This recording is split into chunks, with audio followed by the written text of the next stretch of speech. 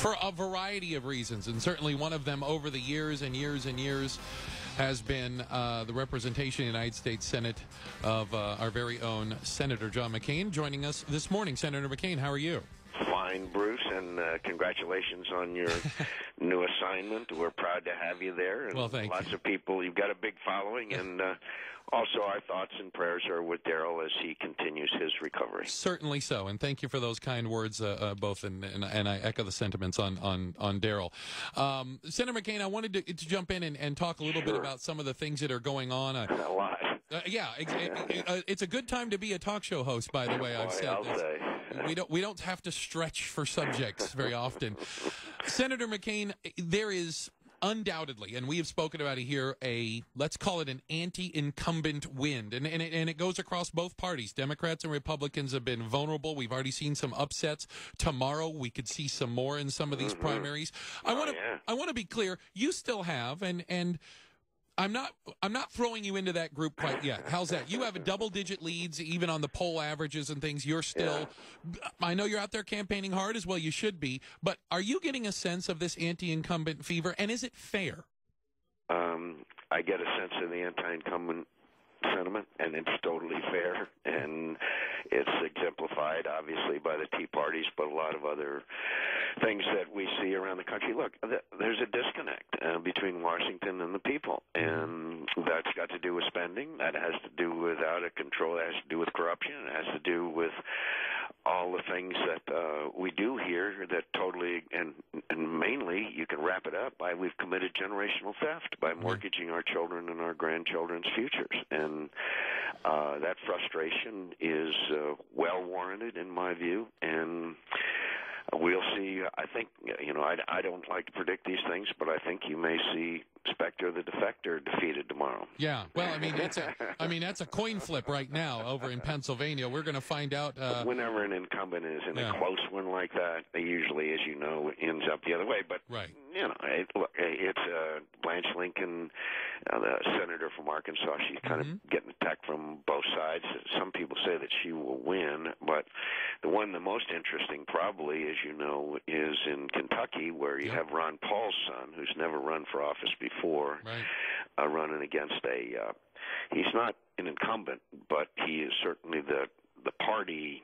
Mm, you know what? choice. He's the yeah, Republican yeah, yeah. choice there in, in yeah, Kentucky. yeah, and uh, apparently that uh, Rand Paul's uh, numbers are well ahead of his, and so it, it, it'll be very interesting. And, uh, and let me just say, I, I fought against pork barrel and earmark spending before it was cool do so. I was condemned by my colleagues. I was condemned by J.D. Hayworth for fighting against J.D. Hay- against earmark and pork barrel spending. I investigated Abramoff. We put him in prison. Mm-hmm. We started the train that did that. I, I I have fought against the earmark pork barrel wasteful spending, and I have stood up for Arizona, and I have fought for our bases, and I have fought for the men and women in the military, and I fought for those people like Boeing and, and Raytheon and all of these other people that provide so much for our military and for our state.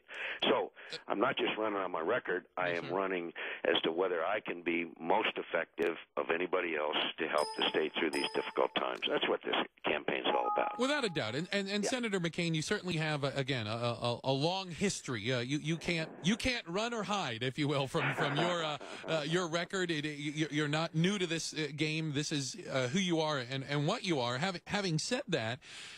Again, I just want to get back to a lot of the folks. It seems like you know, you want to say the populace is waking up. People are more aware. I remember uh, uh, seeing a clip from uh, Senator Grassley saying, you know, th- at the town hall meetings, he said, you know, he had people showing up with 300 pages that they'd printed off the internet, quoting chapter and verse from pending legislation. He said, I've never, I've never seen people like that before in my political career. That that they are more informed, the, the voters, than ever before. Having having Oh, they're said- very they're very well informed. Exactly. They're they're they're more informed and more engaged because the anger and frustration level and pollsters tell me and I'm sure they do you too that the intensity level Mm-hmm. in other words of the anger of the voters is higher than they than they saw in 1994 when Right. we had this this huge uh, sweep. Oh no, you- listen, you're exactly right. And then when the uh, Attorney General of the United States after saying he would look into challenging in court the constitutionality of a law passed in Arizona, says in a congressional hearing that he hasn't read the bill. right, right. You tell me uh, you can't make that up. Well, we we've get to immigration. So you think people exactly. Yeah. Uh, well, and and you can uh, again rightfully understand why people are are seem to be frustrated with the process as well, and it leads me to you know the process. I, I, I'm I, Mm-hmm. I'm not. I, I hesitate because I'm not trying to put labels on you, but I mean, Mm-hmm. you've been there long enough to kind of understand the way it works, uh, uh, to That's say right, the least. And I fought against. Yes, before. fair I enough. Never was elected Miss Congeniality. not going to win the popularity contest, and, and right now that's obviously uh, one of the one of the pluses, if you will. Having having said that, we talk about immigration. Has do you believe and help me understand as someone who has questioned? Uh, uh, I'm- I'm going to Mm-hmm. Sure. be out there and open about some of your stances.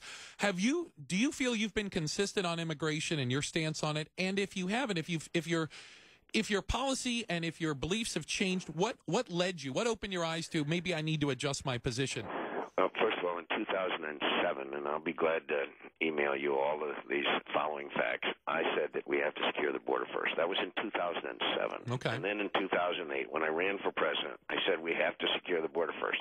In 2009, I said we have to secure the border first, and Jon Kyl and I, had a hearing that was last uh, April, a year ago, uh, said we had to have troops on the border. So, so let's let's uh, try to. I keep trying to put to rest this aspect that I've quote changed my position going back to 2007. I said we had to s- secure the border first, and Okay. I said that because I saw what was happening with the drug cartels and the violence on the border. Sure. 22,000 Mexican citizens have been killed in the last three years.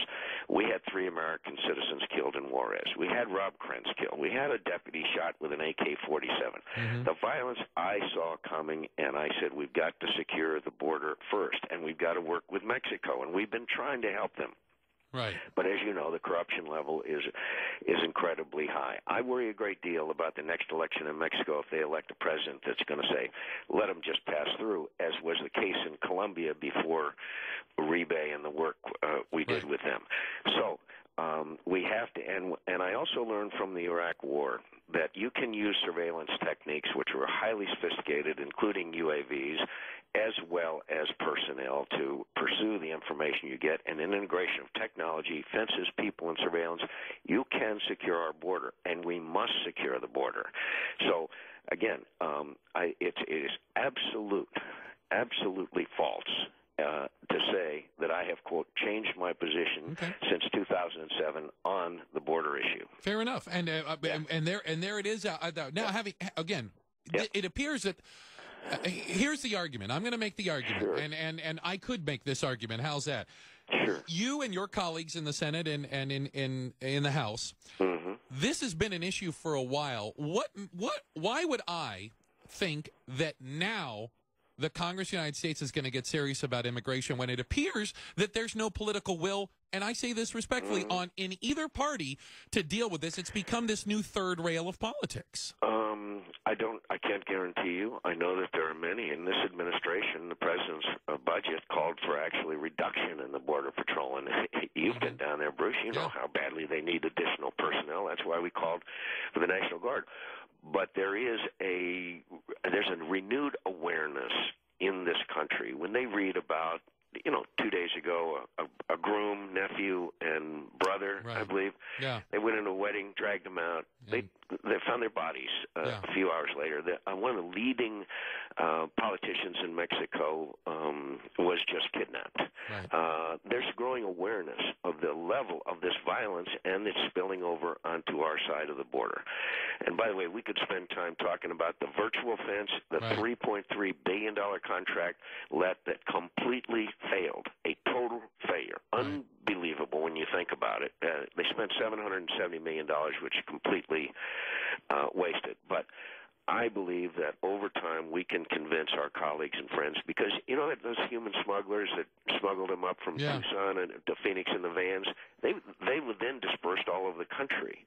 And there are other states, as you know, that are considering the same law that that was passed by the Arizona legislature. And if I could make a comment about that, for the President of the United States to say the law in Arizona said that if you wanted to go out and get an ice cream cone, you'd be harassed without even reading the bill. Right. I think I've never seen anything quite like that. Well, I mean, it's it's demagoguery. Uh, there's no doubt totally about it. demagoguery. Uh, yes. Senator McCain, uh, you make a great comment again in about 1070, and I can take by that that you're certainly uh, support the uh, the concept of it.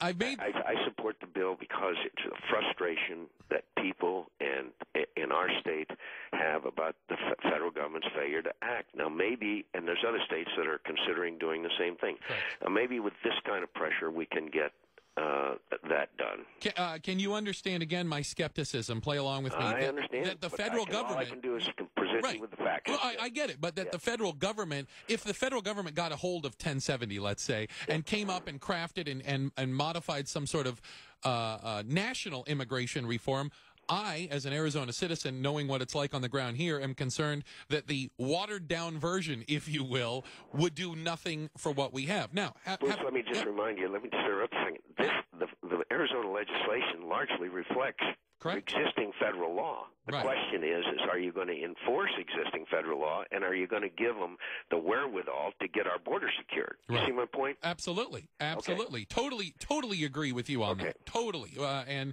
and again, you know, it's about it's about enforcement and the federal uh, government's refusal to, ref- yeah, and it's going to come down to states' rights. I really think that at the end of the day, this is going to be: does the state of Arizona uh, uh, have the ability to enforce that law? I think it has nothing to do with skin The color. problem is, I want them to be able to enforce existing law, Yeah. but they've got to have the assets from the federal government to secure the border. It is not the state's responsibility to secure the border. It is a federal responsibility, Right. and that's why Jon Kyl and I are working as hard as we can to try to get this 10-point plan implemented in a broad variety of ways. We are working on these pending legislation to try to get parts into it that would implement a 10-point plan that, in the view of most law enforcement people, would get the border secure. Fair enough, Senator McCain. I know you're, you're busy. Could I just mention? oh, I know. I know, we got to run, but when when people complain, could, uh, could I just give two numbers that that that I don't think the liberal elite in Washington, uh, inside the Beltway and Manhattan understand. One, two hundred forty-one thousand people apprehended, illegal immigrants apprehended on the Tucson border last year. You catch one out of five. That's over a million people. Okay, Mm-hmm. people's homes and their property are not safe. The second one is over 1.3 million pounds of marijuana were intercepted again Tucson sector last year. The people of Arizona deserve to have their lives and property secured just as these inside the Beltway Manhattan limousine liberals have theirs. Fair, fair point. And I want to end with this, and, and, and sticking kind of a, the adjunct off of a little bit of, of 1070. What what would you say, and how would you counteract the people calling for boycotts, whether it's the Los Angeles City Council or some of these other uh, cities and states who quote unquote refuse to do business with Arizona? What is the noticed that I noticed that uh, both uh, Los Angeles and San Francisco are broke. So, uh, second thing, uh, do you still like our water coming over there? Do you like our power coming over there? Should should you boycott that? Yeah. Uh, and third of all, look, do you want to hurt Hispanic citizens? Do you want to harm them? They work, a lot of them, in our hotel and tourist industry. They're hardworking people. There, there, there many of our Hispanic citizens will be hurt if you try to harm the economy of our state. I just hope you would have some empathy for them. Yeah. Fair point. And Senator McCain, thank you for joining us today. All right, congratulations, my friend, and I know you're going to have a lot of fun. Oh, I- well, especially in this season. Sir, yes, sir. Sir, yes, sir. And we hopefully will have tomorrow. chance to talk to you more. Exactly. Thank you. Have a wonderful day, sir. Thanks. Bye.